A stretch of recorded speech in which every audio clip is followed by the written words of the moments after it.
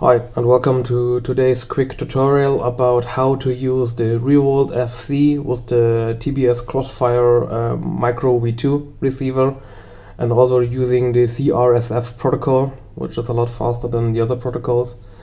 So from the wiring you need to do actually um, make sure that you select the 5 volt output here for the TRX, TX3 and RX3 pins. Then obviously you need to connect the ground wire to the ground pad of the FC. You need to connect the 5 volt pad for the crossfire to the VCC pin. The channel 1 pin needs to be connected to RX3 and the channel 2 pin needs to be connected on the TX3. With that configuration, uh, Raceflight and Betaflight will work with the CRSF protocol and also telemetry will work. You don't need to select any inverters here because they are for TX4 and TX1 and we don't using those UARTs for the Revolt. Um, yeah, you also could use the channel 4 of the receiver for your smart audio. So if you have a TBS Unify running, just connect the audio cable to the channel 4 pin and on the radio, I will show later, you can select smart audio output, so that will also work. Now, um, what you need to do in Betaflight is actually you need a um, at least um, a 3.2 version flash in order to get the CRSF protocol to work.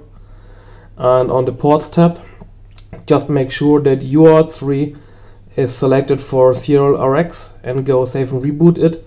There is no need to actually uh, configure any telemetry here because that will be will also work.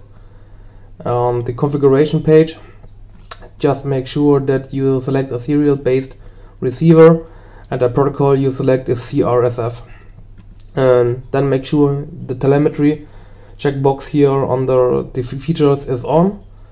And from there you can also um, configure the to use the onboard um, voltage meter.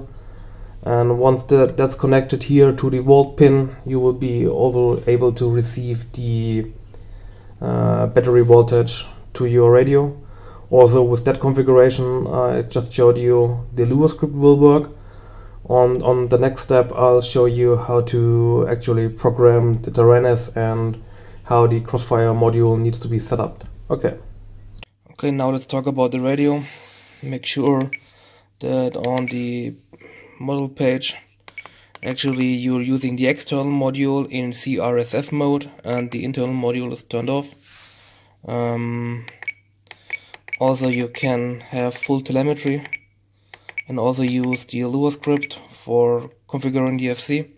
So if you um, discover new sensors, you should see a lot of sensors coming on when you um, actually enable the telemetry on Betaflight. Also, you can use the Lua script on the radio.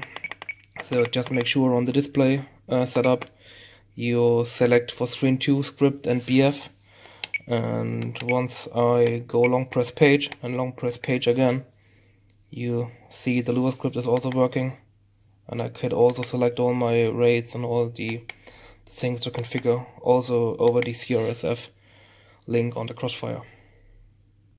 Now on the on the Crossfire module itself just long press the button and go to RX Micro V2 and select the output map and make sure that the channel 1 is CRSF TX, channel 2 is CRSF um, RX, and you can also use the channel 4 for smart audio if you're using a Unify, um, TBS Unify HV or normal one with the smart audio. Okay, that's uh, really all you need to do to get the Revolt running on Betaflight and CRSF protocol used. Also, you can use